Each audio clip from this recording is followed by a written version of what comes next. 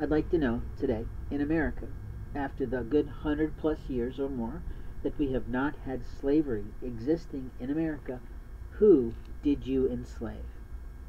Who did you lie to with your words, making them enslaved? Who did you steal from immorally their mail, their items, their possessions, making you a slave master to an alleged slave? Who did you make a big mark upon their records? Who did you harm with your cybercrime, identity theft, and fraud?